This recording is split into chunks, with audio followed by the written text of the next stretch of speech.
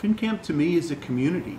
Uh, it's a community of many people's friends and relatives. Um, it's a place of relaxation, uh, a place to socialize with friends, um, and uh, a, a place to enjoy the, the natural beauty that we have, the lake, enjoy the sauna, um, um, enjoy the social events and the cultural events that are, uh, that are happening.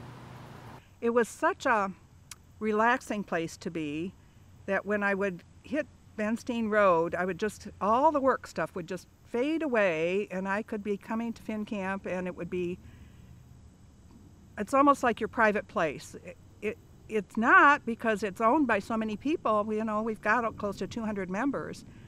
But it's just this wonderful, relaxing place the trees and the water, the camps. The original members uh, purchased the property in 1925. One of the first things they built were, was a sauna and a dance hall and then an outdoor kitchen. I've been a member my whole life. Um, both of my grand, well, all of my grandparents were founding members. I usually say my grandfathers, but my grandmothers were active also. So um, since 1925, they were founding members, and uh, I've grown up my, here my whole life. I was born in 43, so I've been here for 75 years, and uh, it's the best place anybody could grow up. It's a fantastic place. Passing on the traditions like of our heritage, our music, our food. It's a way for us to become more of a community, to work together. We're passing on our ancestors. I mean, going all the way back even to Finland, some of our traditions, our Juhannus traditions, even the music is being passed on from generation to generation. The founders of the Finn camp brought this music with them from Finland, and it's like they're continuing to share it with us even though they're no longer with us, but we're, they're still sharing it with us. And it gives us all, I think, a sense of community. And it's really important that we continue to celebrate and pass it on. And I think it honors our founding members and our heritage. It's full of nature, lots of peace and tranquility um, family and friends, generational friends, um, which is one thing that I can say is probably the best thing about this place is that there's a lot of people who are related, but not everybody is. Um, but our families have known each other for so many generations that, you know, we're all family, even if not by blood. We're all Finnish family.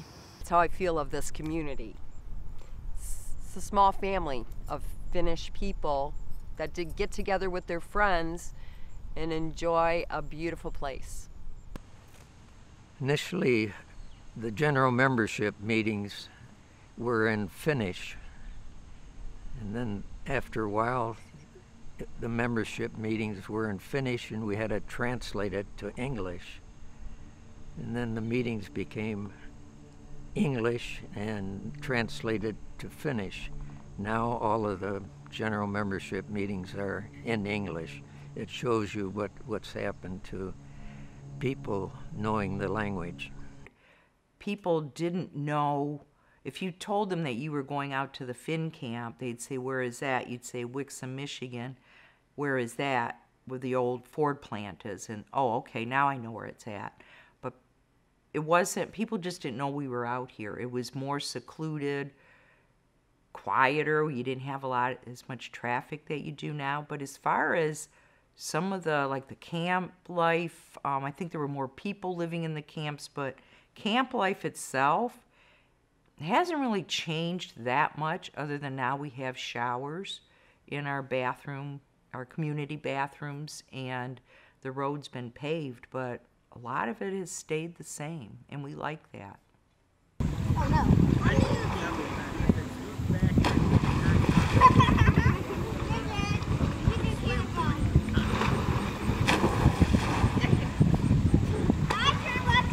Finnish people, the common Finnish heritage, coming together to keep their children aware of their Finnish heritage. We do promote the children here. We teach swimming lessons every summer and have a play. And it's it's about families and having a good time in a beautiful place. FinCamp has a lot of members who enjoy swimming in Sun Lake. The two docks that are in Sun Lake, the one with the diving tower and the other dock, which we consider the call the fishing dock, is 50 meters apart, or have, were actually built 50 meters apart, so that they would be the length of what an Olympic-sized pool is.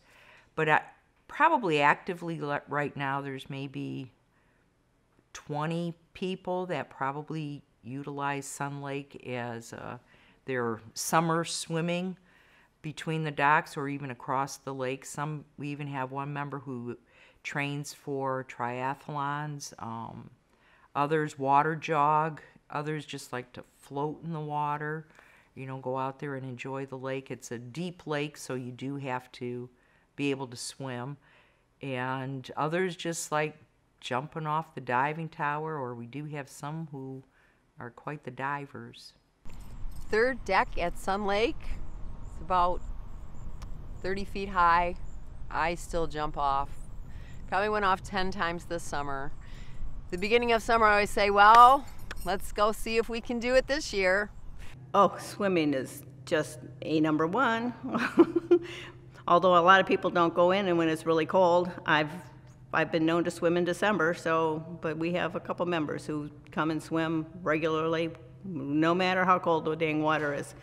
So um, it's it's a beautiful lake. It's spring fed. It's private. Nobody can come here without our permission, and we have a uh, ruling by the Michigan Supreme Court to support that. So we've had people who try to tell us that, no, we can't keep it private because it's water, it's waterway. I says, no, no, we, we get to keep it. We're private.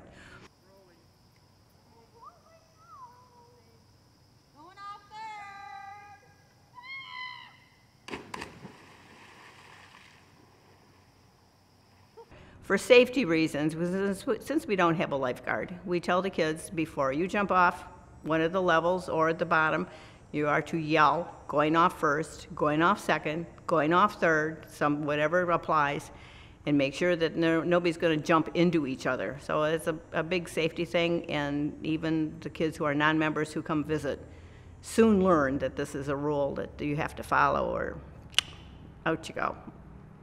So the tower is a rite of passage out here at the Finn Camp, and if you ever come out here and jump in the lake and even start walking up those stairs, you're expected to jump off. There's no walking down the stairs. So as a child, it was always something, sort of a bragging right. Like I jump off third, that's the top.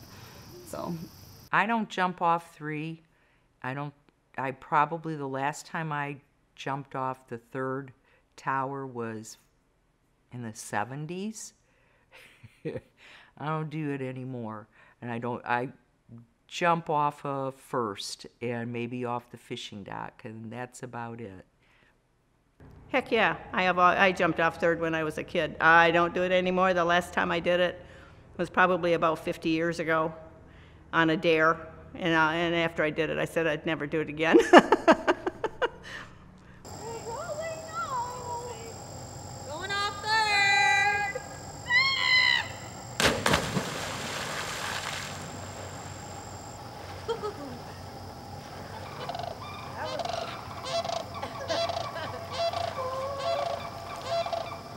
We have a lot of different Finnish or more Finnish American foods, such as pasties and mojakka.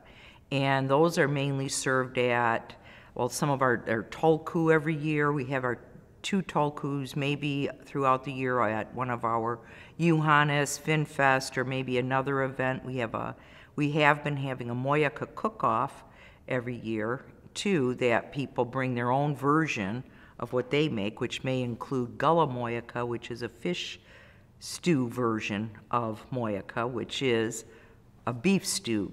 So we have those two, or liha mojakka would be the beef stew. So we have those, and as far as pasties go, that just kind of comes, I think, not just with FinCamp, but with Michigan. It just seems to be that Upper Peninsula or Yooper food that has been served here for, since I can remember. And we also, though, occasionally have bulla, or as I grew up hearing it, nisu or nisua, And that's a sweet bread that's often served with coffee, with some butter on the side, you know, on it. And that's usually made by some of our members. Or we have pannukakku, or as I heard it called, grups, krupsua, and that's the oven pancake. And that's been, I'm seeing that being served more this past summer than before. And also birkas, which are just small little Karelian pastries, or I believe they're rice filled with, you might serve them with an egg on top, a little bit of boiled egg on top. So at Finn Camp, we have the best sauna that I've ever been to, but I've never been to Finland. And to me, the sauna is a great place to socialize with the people that you care about. And it's a great place to tell stories, especially old stories from Finn Camp back in the day. It's one of my favorite places to meet with the older folks of Finn Camp and hear the stories about my grandparents. Probably one of my favorite things I like about sauna. Yes, we can throw water on it. Uh, if anybody has only been to a hotel sauna, they don't know what a sauna is. Um, our rocks come from Lake Superior. I think you're supposed to throw hot water on them. I'm not sure, but we just throw water on them. Right. And um, and of course that makes the whole room hotter. It comes in waves, usually two. Um, the higher you are, the more heat you feel. Um, if you get too hot, you could just go to a lower bench, or you can go jump in the lake. That's our best thing. Sauna is great though. It's um, it's just a cleansing of your whole spirit and not just your body uh, through you know sweating out the toxins and all all that. Um, but it it's just a whole. It's a social experience. You're visiting with people. It doesn't matter who you are in the sauna. Everybody's the same. It's just people. So it, it's one of our best features at Finn Camp. We love it. It's a vicious circle of taking a sauna, go and dive in the lake. Then you got to warm up. Then you're too warm, go dive in the lake. At some point, you have to say, okay, now it's time to shower and go home. But you can never get enough of the sauna and jumping in the lake. They just go together. And we have the best lake, the cleanest, spring fed Sun Lake. It's hot. it's really hot. Not as hot on the women's side as the men's side. They kind of like to challenge themselves, I think. Um, I kind of like it about 180, but they go over 200 easily. And when it's that hot on the women's side, I, I don't like it. How many people are naked? um, you know, not as many as there used to be when I was a kid. I think everybody was naked. I mean, I remember the old ladies in there, and it was just normal to be naked. It wasn't until much more recently that people started wearing their bathing suits. I mean, if you're in and out of the lake, of course, you're wearing your suits, but once you're ready to um, wash, then you're naked. But not everybody does that anymore. So I would, I don't know, I would say 25% uh, at the most of the women, on the women's side anyway, um, would sauna naked.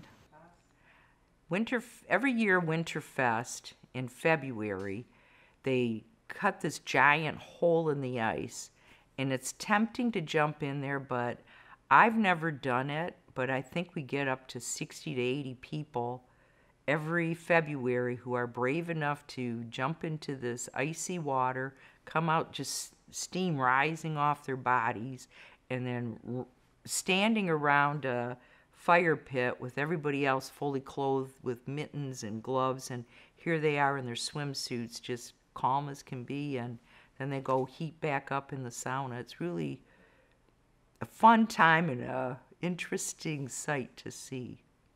We do in February saw a hole in the ice so we can jump in. And I always tell people there's sawing a hole in the ice, the least you can do is jump in. And it's great. I've been doing it for as long as they've been cutting the hole there. When it's cold out, that's the, the only way to go is to go sauna first and then jump in the lake. When they do the Winterfest, if you don't go sauna first, you're dead. You're going to be so cold. Then after sauna and all of that's done, the um, they eh, people go up to the club room, and there's a chili cook-off, and there again at the club room is packed, and everybody warms up with chili. Maybe up to 20 different chili entries. And you might have judges checking, you know, deciding who wins this chili cook-off. Prizes are giving a DJ, a dance, and it's another fun social event. And the everyone has fun from the littlest to the oldest people. It doesn't matter. It's meant for everyone. So Juhannus is the celebration of midsummer or the summer solstice. That's a tradition that goes back uh, um, farther than Finland has been a country. Um, it's something that all ages can enjoy. We've got games and food and drinks and bonfires, and it goes on all day. Uh, at least here it goes on all day, but in uh, Finland it's a weekend celebration of sauna and uh, fun for the whole family. It's something that everybody can enjoy. This year we uh, incorporated Pesapallo, which is Finnish baseball. We also do a version of our own boot toss, another favorite sport in Finland. Um, we award a trophy for the furthest throw. I think we had 118 feet or 119 feet this year is the farthest throw we've ever had. So I know we don't quite compare to those Finns from the homeland, but we're doing our best to try.